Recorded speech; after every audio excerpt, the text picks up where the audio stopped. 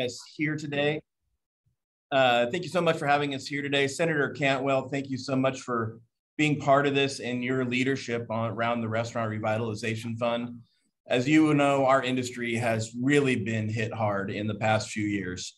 Um, we've lost thousands of restaurants, um, really had a lot of challenges. And I think a lot of people um, now seeing people in restaurants feeling like things are getting better. And so I think talking a little bit about the headwinds we're facing and some of the challenges we have today is important for all people around Washington to understand uh, where their local businesses is at and how they're doing and, and moving forward. Um, one of the big issues we have um, is during the height of COVID, restaurants built up a lot of debt. Your average full service restaurant uh, per location is about $160,000 in debt. On an average 4% margin, they're going to spend three years with no income trying just to get out of this hole. And, and as we know, these aren't just normal times. That average margin is hard to hit. Um, when we have challenges like Omicron going on that continue to take a bite out of our employees. Our workforce shortage continues to be a major issue. Here in Washington alone, we're short 40,000 workers, which means we can't operate full shifts or full operations. And then we have these ongoing impacts of COVID from uh, supplier shortages and products simply not showing up each week and um, and uh, inflation. So our headwinds to just try to catch up to normal times to pay off this big debt are huge. Uh, we're, we're raising the red flag that we're worried this race against debt isn't going well. Um, and there's a solution to help. There's a vehicle that can help this. Uh, Senator Cantwell very uh, heroically helped sponsor that first round of restaurant revitalization fund, which helped a lot of restaurants apply their debt and get out of debt. Unfortunately, about 55% of Washington restaurants who qualified um, didn't get it because there simply wasn't enough funding. So we're hopefully to talk today about how important it would be to backfill the rest of that restaurant revitalization fund. Uh, here to talk to some real operators um, and get the word about how important it is for our main streets and our small businesses moving forward. So thanks for being here today. Uh, and Senator Cantwell, thanks for having us. Anything you want to say here as we get started? Well, Anthony, thank you so much for helping us host this roundtable and to all the participants. Thank you uh, for continuing to work during the COVID pandemic and to help us discuss this issue today and how your community is being impacted. We want to take today's information and go back to Washington, D.C. and fight even harder to get a second round, uh, an additional round for restaurant funding in the upcoming months. This is so important to do because what we've heard just from the National Restaurant Association, just in surveys that they released yesterday, that conditions by restaurateurs are worse today than they were just three months ago. So it shows us that the Omicron variant of the COVID pandemic is just one more wave of uh, pressure on our local restaurants, which are such great employers for our community. Anton, uh, Anthony just mentioned this issue about the fact that in the COVID package that included funds for restaurants, only about half or a little more than half of the businesses from our state who were eligible actually got help and support of that program. So by refunding uh, and capitalizing that program, we hope help and support can go out to so many more restaurants. The good news is there's a bipartisan effort by my colleagues, Senator Cardin and Wicker, and myself, and, and Susan Collins, and many others who are working to try to get this legislation included in any of the must pass bills that we need to do in the next couple of months. So I hope that today you can share with us stories to bring back to our colleagues about why this is so important, why restaurants are so important to our communities, why you already operate on thin margins, why it's a miracle you're even here now after what's happened with the COVID pandemic that you've been able to survive so long, and why we need to restore some fairness in the fact that some restaurants got the funding and yet others who qualified didn't get the funding. We need our local communities to have these great businesses, and we want to continue to support you, even though the pandemic continues. We want us to go back and put these resources on the table to help stabilize restaurants across the state of Washington. So thank you, and thank you, Anthony, and I look forward to hearing everyone's comments. Well, Senator, again, thanks for having this and thanks for your leadership on this. We really want to hear from a lot of the operators. We've got operators of different sizes and areas of the state that all have a similar story. Uh, Steve Valenta from Mighty Bowl down in Vancouver. Why don't, why don't we start with you? You, you helped organize, among other operators, support groups down in Vancouver talking about the crises and the, and the shared struggles. Um, but let's talk about you this time, not everyone else. How are you doing with this? What would the revitalization fund mean to you if we could backfill it? Uh, thank you. Uh, good to see everybody. Thank you, Senator, for your time. I will say, um, just to touch on, um, we're here because of PPP funds. We wouldn't have been here if it wasn't for those two rounds. So I just want you to, I just want to say thank you because our staff is still working. My family's being fed. Our community still gets what we have to offer because of those PPP funds. It worked. So, um, but where we're at now, and we are, we are keying in on this last, uh, basically fourth quarter of last year. Um, things really did take a turn for the worse, and and we're running out of money, and and that's what's happened. It's worked, but we need more because we're out. Um, it's it's it's a known thing. It's obvious about our industry runs on these these slim and these narrow margins.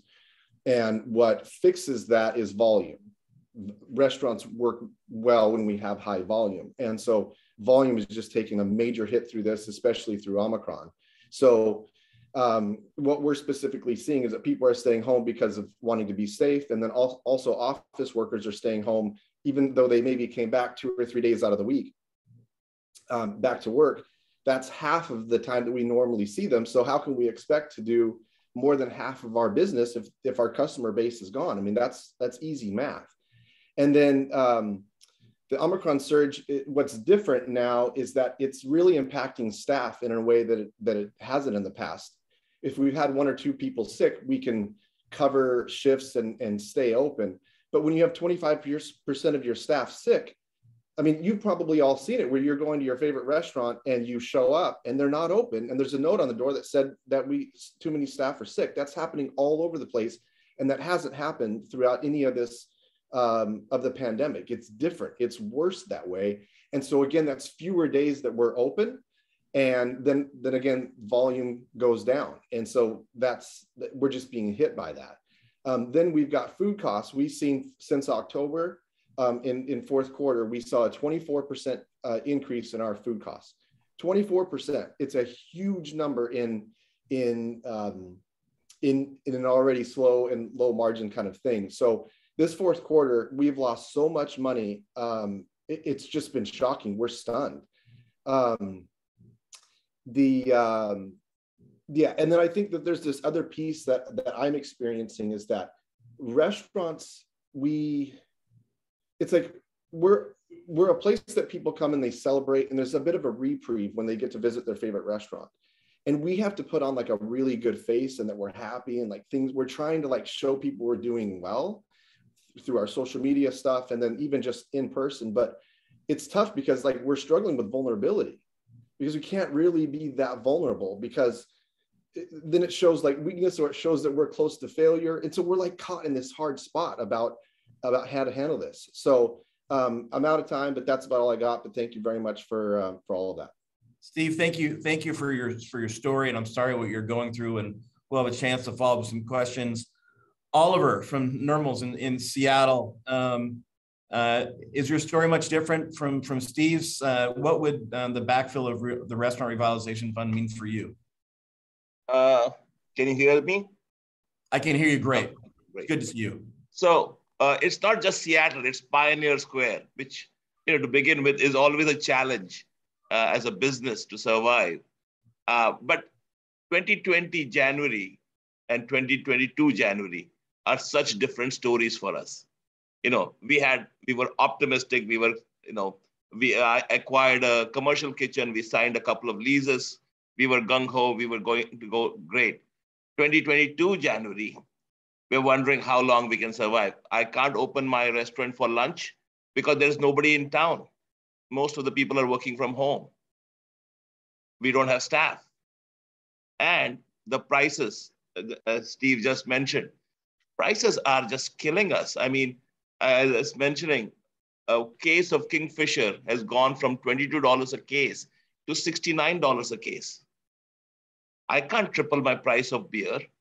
Nobody would buy it and yet you know we have to keep our doors open. We have to, you know, pay our bills. Uh, Omicron, eight of my employees are out with Omicron. You know, we still have to, you know, I'm running food now. There's nothing we can do. We have to still survive. We cannot close the door because once you shut the door, it's so hard to open again. We do everything we can. We took care of our employees during the whole thing. PPP really helped us a lot. Um, but you know, we qualified, we didn't get any RRF money, not one penny. And that was the one that we were really, really banking on. It was going to be the real critical thing. We were optimistic that once we get that money, we can survive. Uh, I know an SBA tells us that, oh, if you don't get it, just apply for a loan. We're already in debt. We are in deep debt. And we don't know how long this will go on. And it's not, it's not going to change in the short term. Uh, uh, things are, I, I spoke to Roger Millar the other day, and he said, well, it'll be April before you really see a change. Uh, and Roger Millar is the transport secretary for Washington, and things are backed up in the port. So right off the bat, you know, it's nothing that's going to happen next month. It's going to be April where he thinks some things could improve. I don't know how um, how to survive. Oliver, thank you for sharing that. We'll have some chance to follow follow up on that. Did I cut you off? I'm sorry. I just want to make sure I have time to get to everyone. Go ahead. Yeah. Um, well, and and I'm I'm hoping that if we can be successful on this effort and get the word out, so we can get you that help. Um, Lisa, let's go to you in Spokane from Swinging Doors. Um, I think a lot of people think this is the newer restaurants or the unstable restaurants. Lisa, how many years um, have you and your family had Swinging Doors in Spokane? Um, my parents, Bob and Barb Materney, opened the swinging doors in 1981. So we're going on 41 years. And, and it's really been an incredible place for the community of Spokane and supporting so many different things. You always see swinging doors out there helping. And yet this is the time that you need help. Can you talk about some of the debt and challenges you're facing, even as a well-established place and in, running your business there in Spokane? Absolutely. Um, I just wanted to start by saying or reiterating um, how much of an honor this is for me. Um, thank you to Senator Cantwell for listening to us. Um, we were shut down in March of 2020. Um, we were able to get the first round of PPP money, which kept 43 employees working, but we basically paid them to stay home because we weren't open for the 12 weeks that we were supposed to use the money. Um, we got the second round of PPP money and things were looking up because we had spent so much money on glass barriers between our booths and installing UV light um, purification systems to keep our air sanitized and healthy. Um, and things were really looking up in about September of 2020 and then we got shut down again. And it's really hard to be open air dining in Spokane in December. Um, but we did it and we spent more money on tents and heaters and we had a capacity of 19 people and still kept people working.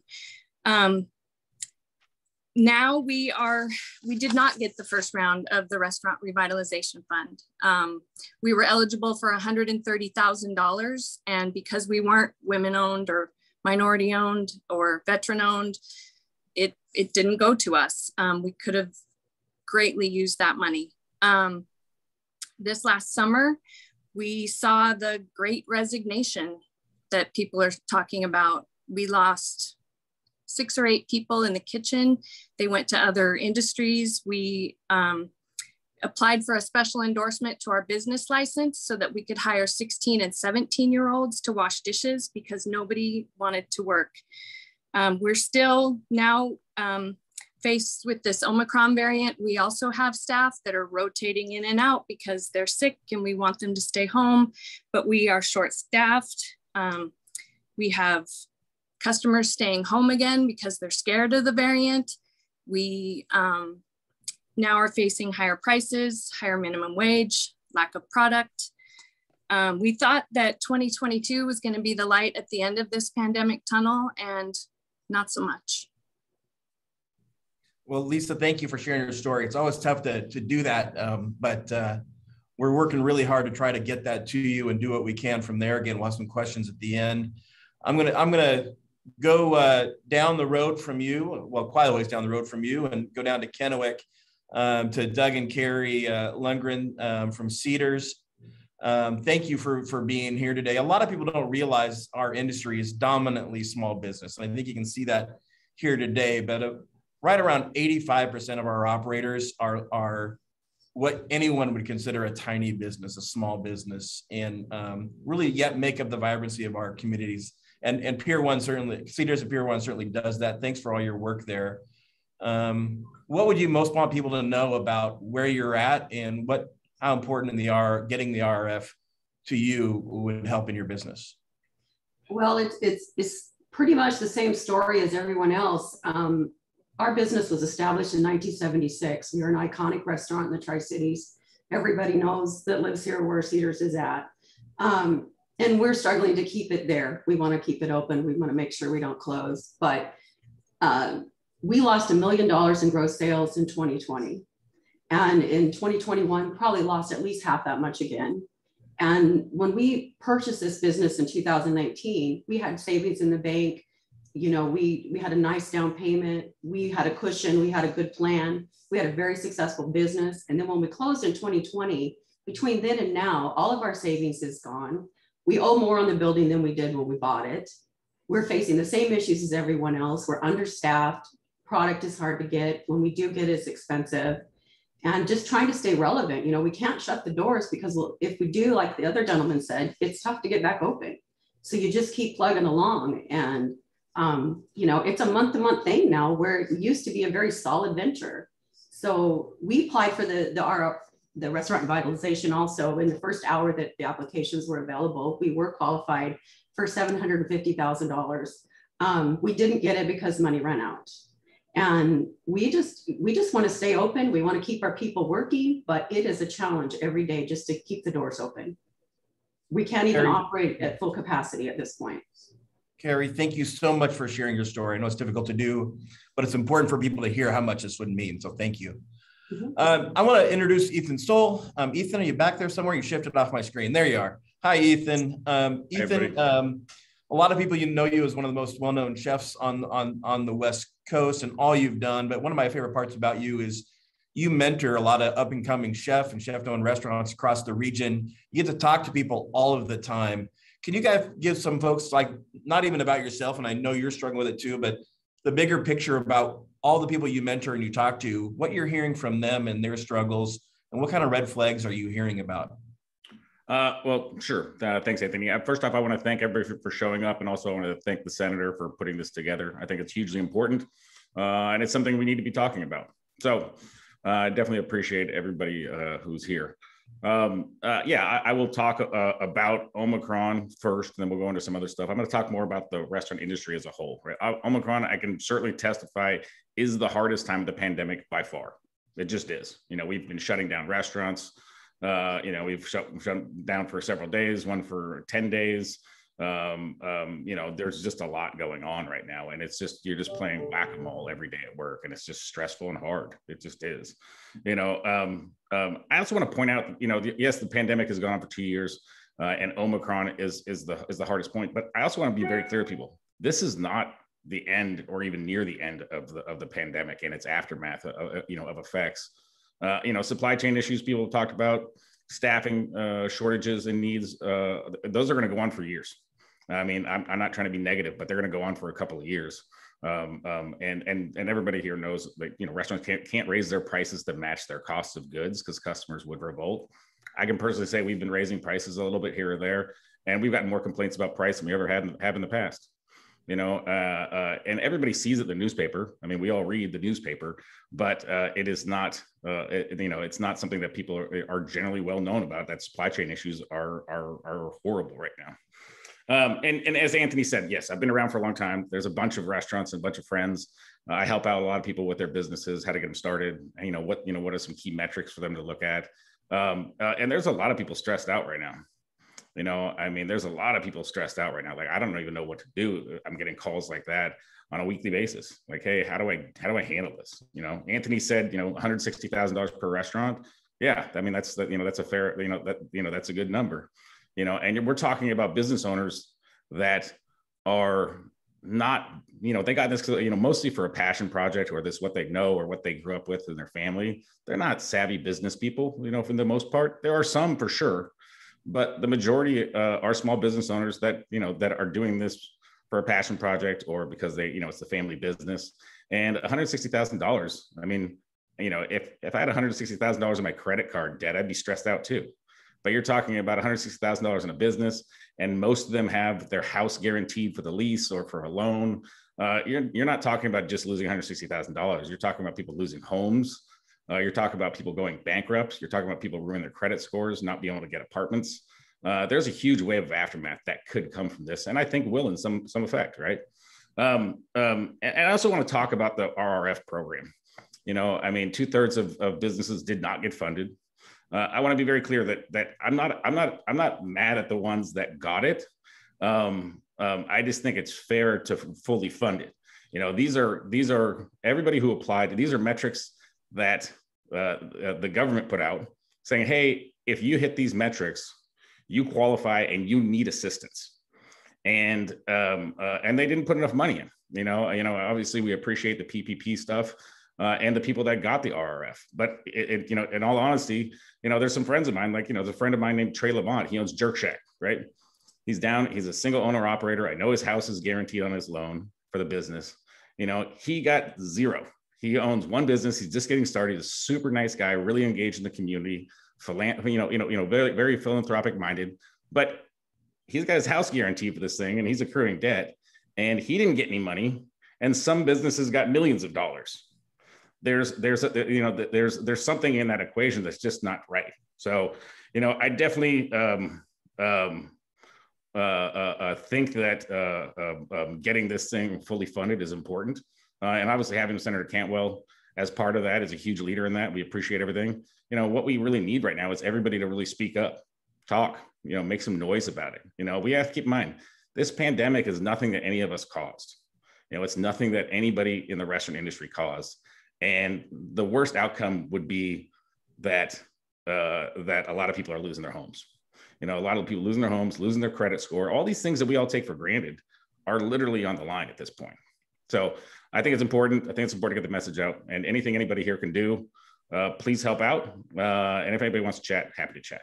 So thank Ethan, you. thank you so much. Uh, one, for all your mentoring of those who, who really needed the advice and, and being there to support them. All of you, thanks for being on today. Also, Ethan, thanks for reminding people the Restaurant Relief Fund is really revitalization fund is to help with debt.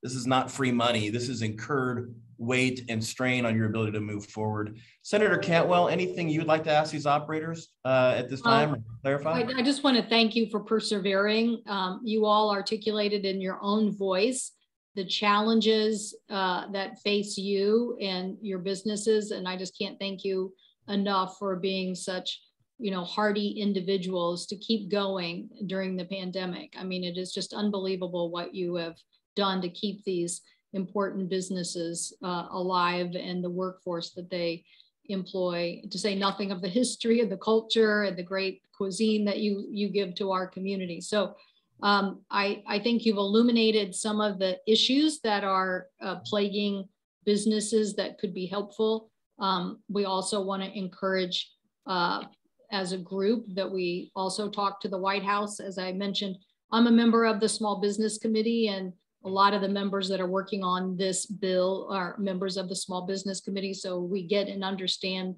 the plight of small businesses. By the way, they employ about 75% of people in the United States work for small businesses. So this is really a big economic issue for the country. Um, I hope we'll all reach out to the White House as well and get the White House to be uh, supportive of this effort.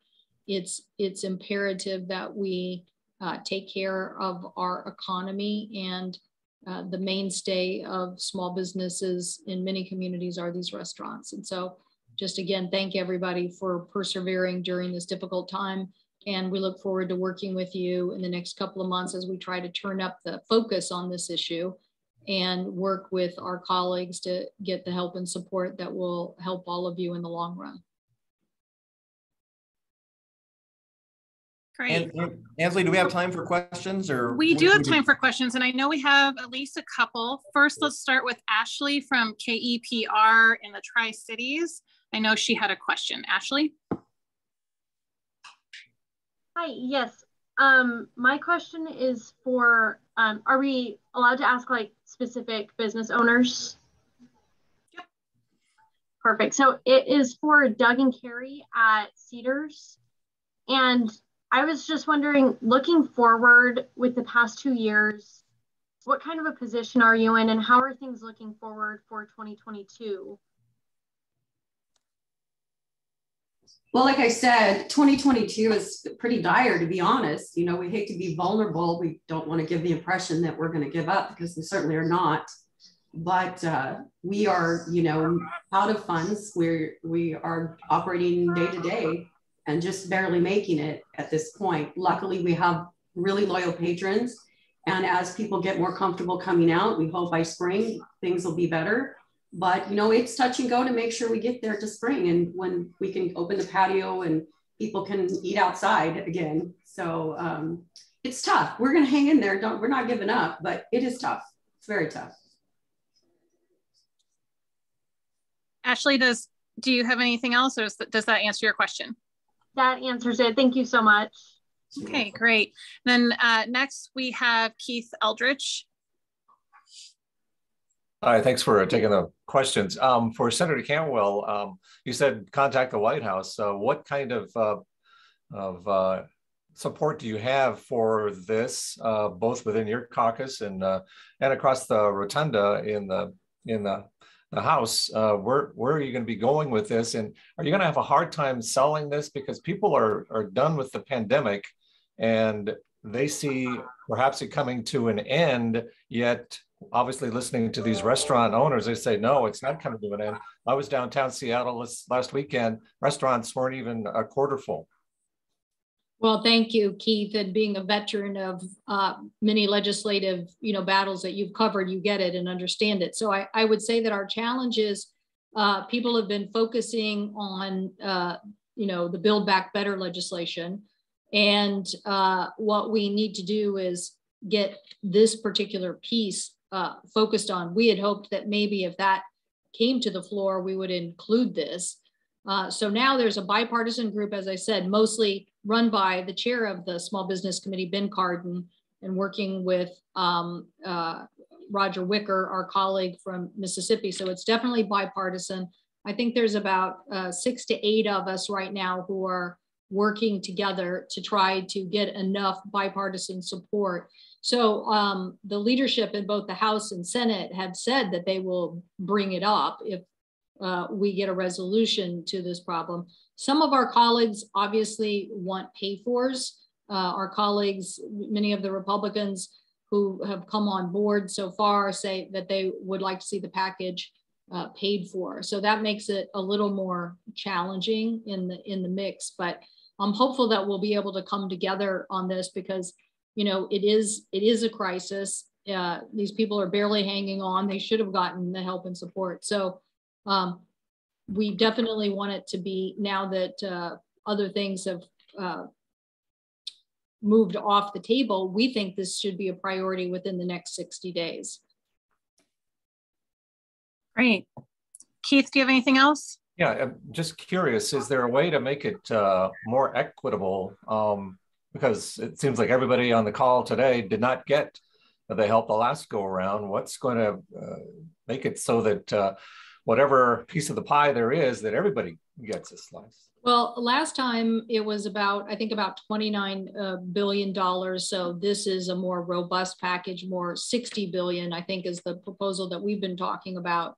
And uh, so it would co just cover more of the people. I mean, the problem was the number of people, the money just ran out. And so even though there were more restaurants that qualified, they the, the funds just ran out. And so I think some people thought that that would get us through the crisis. I think they thought that that would uh, end the situation and that we'd be back into better economic times.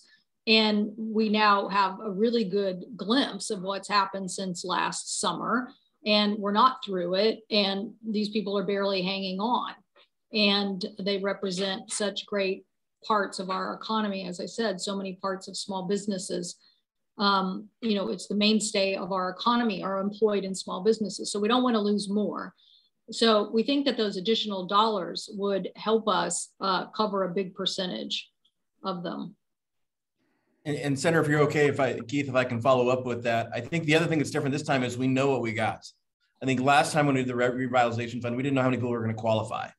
All the operators who could qualify applied, put their application in, and and and we know that there's 4,000 Washington restaurants who applied, qualified, and did not get it. So the number is now known. It's not this mystery number of what we need. And so I think the equity is going to come from filling what we know and, and, and with the senator's support and our delegation support, encouraging the rest of the country, let's, let's get going. Let's get small business the help it needs. We know what it is now. And I think that's a big difference than the first time around. Was that a fair statement, Senator? Yes. And then I think what you guys did for me today was give me a lot of data and input as to why the problem is so complex. Um, the, the, the fact that you're still facing increased costs, less uh, workforce, uh, less ability to keep your doors open. As Ethan said, this isn't going to be the last of this anyway, even if Omicron numbers uh, come down, we're still going to be uh, challenged in many ways. The sector is going to be challenged. So uh, you've given me a lot of, let's just say, background to explain to our colleagues why this is still a pressing issue. I think some people say, well, I went and I saw a restaurant open and, you know, why is, why is this still an issue? And um, I think, again, I just was so admiring of all of you. Um, the Lisa, thank you for what you said about what you had to do to just survive in Spokane in the winter time.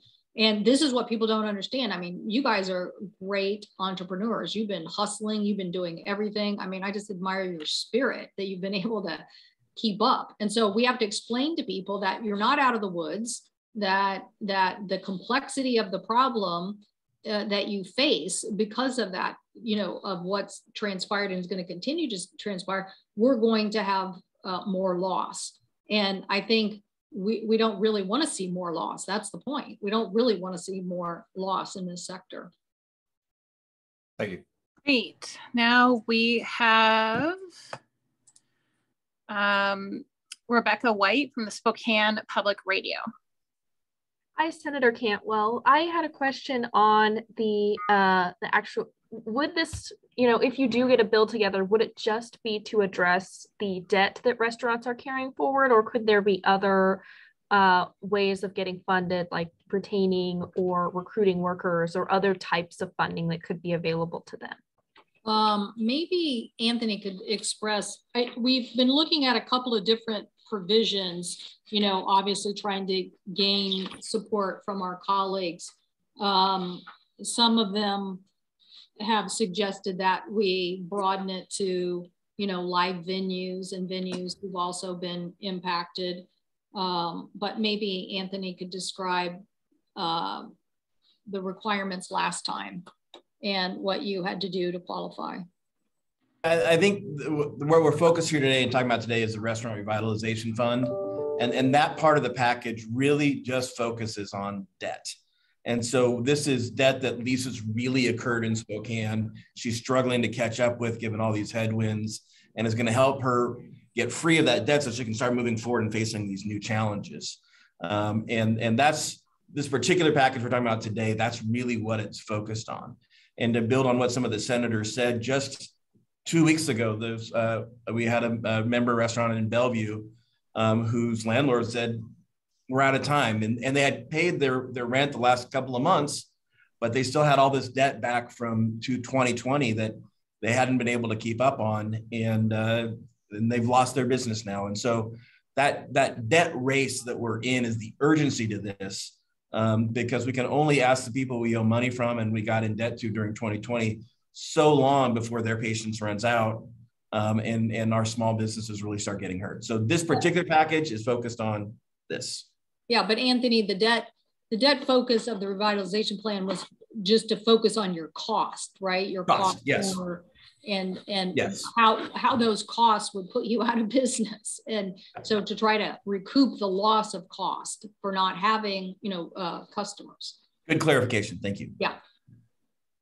Okay, great. And we have a few more questions uh, lined up just for everyone's awareness. We have, I have a list of uh, four more. We have uh, going down into the Vancouver area. We have first have Sarah Wolf with the Columbian. Hi, uh, I, this is kind of for all of the business owners. Is there one particular part of this very complex um, array of issues that is more impactful on your businesses than another? Or is it kind of just the combination of all of them that has put your businesses in such a dire state? You want me to take that? I mean, I, can, I mean, it, it is it is the combination of all the things, but you're talking about um, you know how a restaurant operates. You know, Steve said it earlier. We you know we operate on volume, right? So basically, you know, a restaurant, you know, the first 90% of, of your day of sales is um, is covering your cost. Yeah, and your, the last 10% of your sales, if you're busy, is your profit. It's just how it is. You know, there's a lot of cost to open the doors every day. So when those numbers go down, uh, you're basically eating away all your profit. It's not like your profit goes down, uh, you know, down 10% of profit. All your profit goes away. So, and now we're dealing with obviously Omicron and staffing issues. So not being able to open a door, all those costs are still there, and you can't bring any business in to offset any of those costs.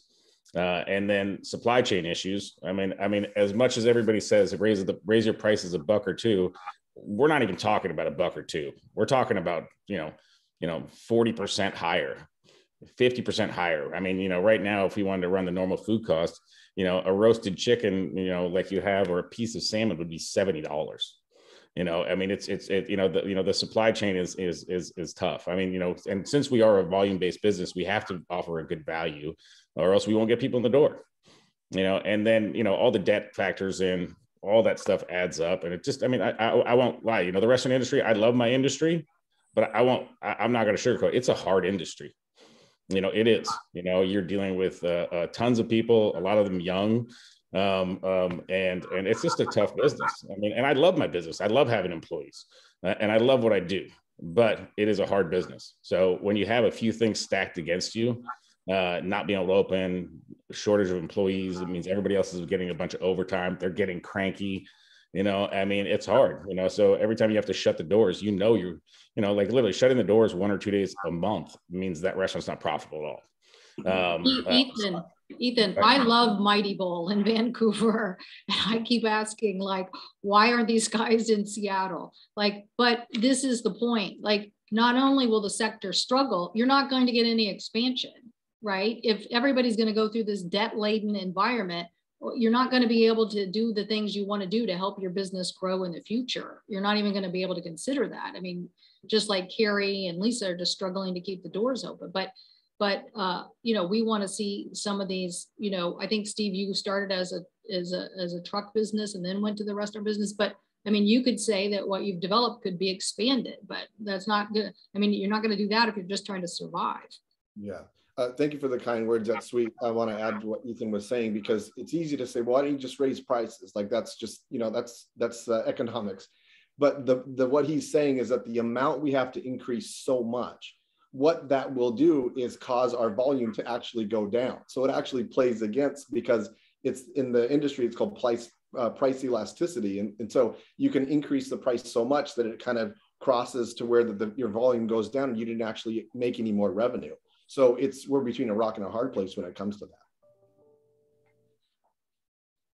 Thank you so much. Um, next we have, uh, sorry, Sarah, is that is that cover your question or did you have another one? It does. No, we're good. Thanks. Okay, great. Next, we have Liz Birch with KOIN, also in the Vancouver, Portland area. Hello. Yes, thank you so much for your time. My question is for Senator Cantwell. Uh, kind of piggybacking off of what Keith was talking about with the restaurants we've heard from who didn't receive that aid in the first round. With this next round of money, if you're able to get it passed, what percentage of restaurants do you think realistically would get it? And what would the criteria be for them to receive that aid? Well, we would hope that um, all that qualified would be able to get help and support. Uh, Anthony might know the numbers for you know our state, and I know you're representing our you know the region, Southwest you know region, so we'd have to get you Oregon numbers as well. But I think um, you know we think if we doubled the amount of money that we had put forth last time, that we'd be coming close to covering uh, a, you know, a big chunk, if not uh, the majority of the, I mean, most of those businesses. And I would I would agree with the senator that we're, we're seeking the, the backfill of those who've already applied. They've already gone through the vetting and the qualification process. So for Washington alone, that's about 4,000 restaurants we're hoping to help. Um, and then Liz, I can uh, find out the Oregon number um, uh, for you and get that to you so you kind of have something for the Northwest if you want it. Thanks so much. And would the criteria be different than last time then, or would it be the same? No, the same. They, yeah, hopefully they've already qualified and the way we were, we're hoping to pursue this. And so it's a known. We, we might get, uh, you know, some of our members who, you know, might want you know, uh, to broaden who's eligible. But I, you know, for the mo, it, you know, it's really focused, you know, on the restaurants themselves. Okay, next we have Christine on behalf of McClatchy. So this is a wide region. Hi, thank you for uh, doing this. Uh, this question is sort of for the senator and any business owner that maybe wanted to jump in. Um, it seems that you know relief funds are still in the long term just a stopgap, especially if we continue kind of in this cycle of pandemic rules and regulations and a just rainbow of the public's understanding of how to go about their lives. Um, it seems that the guidance is dated, especially when it comes to vaccinated employees. I'm sure all the business owners have dealt with that headache probably more than once at this point. Um, and so my question is, how would refunding this program ensure that we're not just putting another band-aid on a situation that's just going to kind of continue in this uh, treacherous cycle again? Well, these are these are hard questions, and I think you have to look at each of these sectors of our economy and ask yourself how important and vital are they to our sector. We were very involved in uh, legislation around the transportation sector, which was you know, really hard. But uh, we also believe that if we wanted our economy to recover, we needed to keep it going in transportation. And um, that's proven to be true, that we wouldn't have, uh, the United States has done better than other countries because we did fund uh, uh our transportation sector during the crisis. Here, we're talking about, again, 75% of, of jobs in the United States of America are small businesses and restaurants represent a very big chunk of that and a very big chunk of uh, what is essential in every community to uh, doing business. If you don't have restaurants, then people aren't going to locate other businesses there. You're not going to be able to, um, you know, in the Tri Cities have the, you know, have the wine community or the diversity that that we have there, and you can say that, you know, just in any part. I, I remember participating in many uh, uh, economic development things in Spokane when Spokane wanted to get all of these. Uh, they wanted to get the World Skating Championship there, and they wanted to get all of these events. The first thing that those people ask is, "Do you? What are your restaurants? Because if people are going to come there, what are your restaurants?" And they want to know. And um, this is such an important aspect of just growing your economy is to to have a vibrant restaurant industry. Uh, otherwise, you're just not going to be as an attractive location for people to live and work. And so we just we have to get that through our head that these that that again 75% of small businesses, uh, 75% of jobs in America come from small businesses, and that that we're not going to have the communities and they're not going to have the vitality of those communities if we don't uh, have a strong restaurant economy. Great. Christine, does that um, cover your questions? Oh, oh, geez. Uh, sort of. I don't know if a restaurant owner had any thoughts on that. I'd be interested to hear from someone if they were willing to jump in. But thank you, Senator. I mean, I, I can I can mention everything she just said was like spot on. It was perfect. Um, you know, restaurants. You know, we you know we make living off of restaurants, but there's so much more to them than that. They're communities, uh, their developments. You know, if restaurants shutter and people don't want to get in the industry anymore because so many have, have lost their, you know, lost their livelihoods from it, you know, it, it hinders all kinds of stuff. I mean, we need restaurants downtown in Seattle bad right now because we need to have uh, uh, draws to get uh, uh, office workers back. And and and the and the financial impact of restaurants goes well beyond their four walls. You know they they do create communities. They bring up the value of, of buildings around them so people can develop. You know you often see you know i mean you know the, the, right now the, you know it's been going on for years but the strategy is we're going to build a building and we got to have a restaurant retail on the ground floor because all that foot traffic restaurants creates creates value for the buildings and for the neighborhoods and for the houses around them and the communities all kinds of stuff it has big impacts on okay finally we have jordan uh, from kndu in the tri-cities area Alrighty, thank you. Well, I actually have a question for Anthony. So what Steve said earlier really resonated when he said, you know, we're far from the end of this pandemic and the effects that it has. So Anthony, according to data that you've seen, with the help of this legislation, do you foresee a light at the end of the tunnel for restaurants? And when would we see that? We're looking, you know, at like years down the road. So um, great question. One, I, I want to be careful because way back when we said we're going to be out of this pandemic in the in two weeks to a month, and there's so much we don't know. And then that was said. With, I'm not trying to make fun of anyone. We're all doing the best we can. No one expected these things that have just kept going and going. Um, and so, that being said, I do want to offer some hope, and I want to talk a little bit about the future. One, we saw a good demand this summer that our customers missed us. They wanted to be back um, in communities where there weren't conventions or businesses downtown that still really struggle because that has not returned. But people are just out in their own communities in those areas. People missed us and they were excited to be back. Um, and so that tells me that, uh, particularly with the generations that are coming through that really value experiences and supporting local businesses, um, the future is going to come back. That being said, um, if you're talking normal, there's a handful of headwinds I'd mention. One, without relief, and if you can get to a 4% margin with these headwinds will be challenging, you're talking three years of no profit before you can pay off the debt that's incurred. Um, and so that alone is a number. I think if you're looking at the return of the convention business and some of those areas to the broader region, I think you're talking two years for that. And then the workforce shortage that we're facing um, is really um, its own issue in its own right. But we're going to be struggling with reinventing our business for that for for three to five and so these factors really we need this relief so we can start figuring these things out and start moving forward and, and senator again thank you for helping us get the word about how important this is today thank you.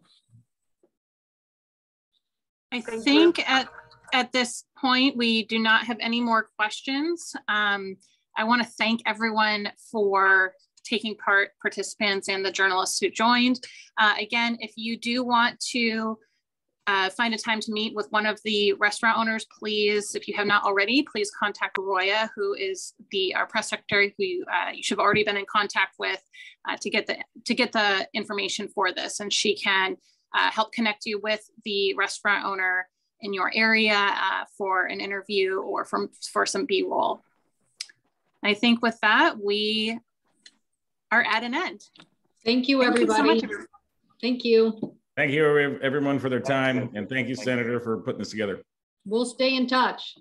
We'll keep Good. you get progress reports. Thank you, everybody. I'll keep bugging. Good luck to all the operators. Keep Thank fighting. You. Thank you for what you do. Thank you. Thanks, everybody. Thank you.